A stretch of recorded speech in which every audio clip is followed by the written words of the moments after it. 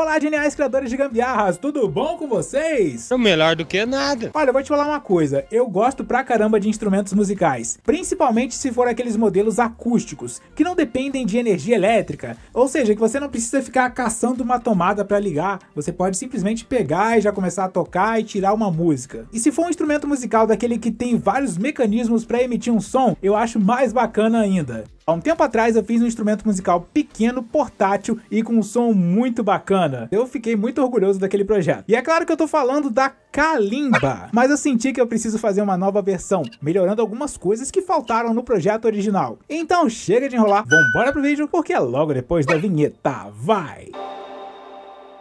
E talvez você deve estar se perguntando, tá, mas Leandro, você falou, falou, falou, e o que que raios é uma calimba? Olha, segundo o chat GPT aqui, que eu tive que pegar uma cola, a calimba também é conhecida como mibira, e é um instrumento musical de origem africana que pertence à família dos lamolefones, sendo da categoria dos idiofones dedilhados. Ela é composta de uma série de lâminas de metal ou madeira dispostas de forma cromática, que são tocadas com os polegares. E o chat GPT tá falando aqui que é um instrumento relativamente fácil de tocar. Bom, eu não sei disso não. Até hoje eu não aprendi a tocar isso direito. Você parece burro! Na primeira versão, eu construí a calimba usando tubos de PVC, e isso atrapalhou bastante o resultado final. Dessa vez eu quero fazer uma coisa um pouco mais profissional e mais parecida com as calimbas que são vendidas nas lojas de música. Por isso que ao invés de usar PVC, eu vou usar sobras de madeira de uma gaveta.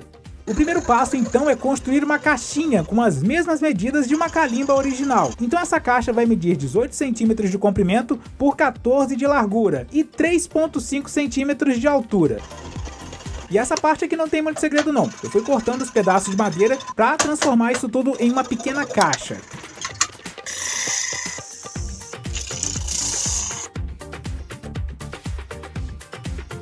Nesse primeiro momento, a tampa deve ficar separada da caixa, para ficar mais fácil de construir a nossa calimba.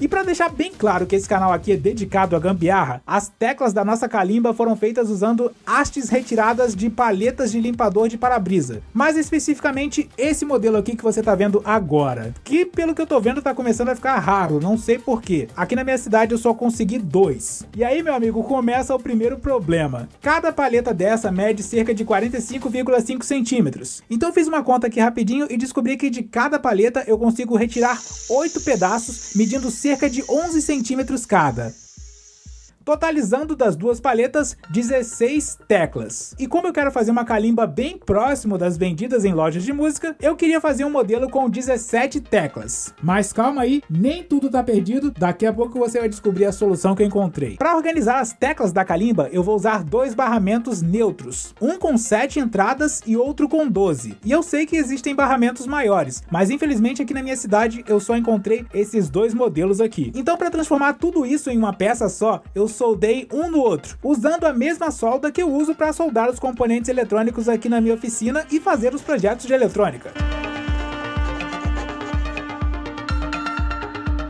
E fiz um furo nas pontas desse conjunto. Eu marquei a posição onde ele deverá ficar e fiz um furo na tampa da calimba.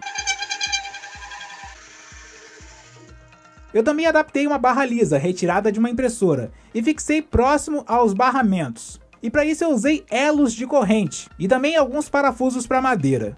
Eu percebi que a emenda ficou meio fraca, até porque o estanho não é feito para suportar pressão, vamos dizer assim. Então, para resolver esse novo problema, eu usei mais um elo de corrente e fixei bem em cima dessa emenda.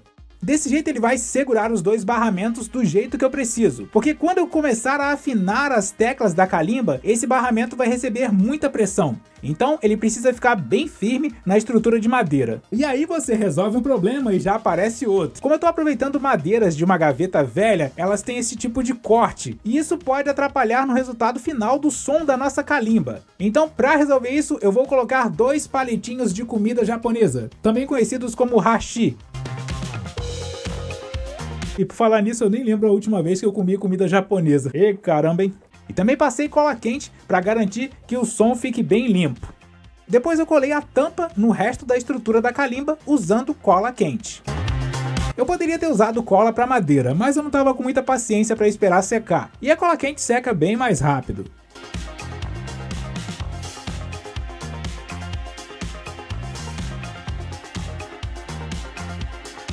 Para dar um acabamento bacana, eu lixei tudo e também passei óleo de argan.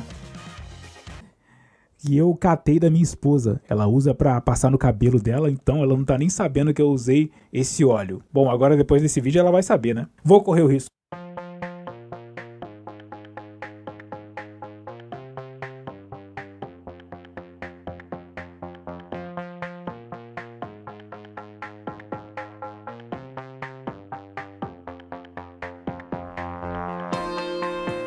E depois eu encaixei cada uma das hastes nos furos dos barramentos.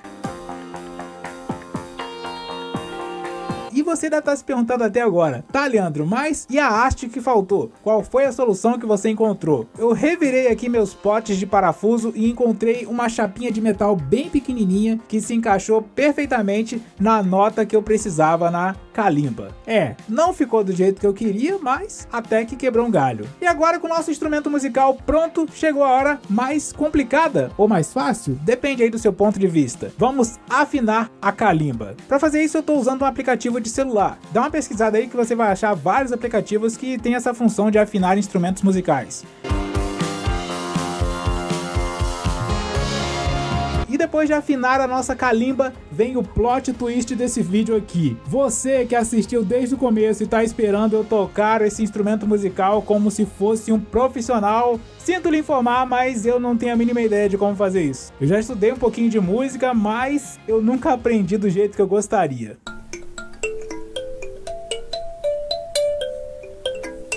Mas até que a nossa calimba ficou boazinha de tocar, ó.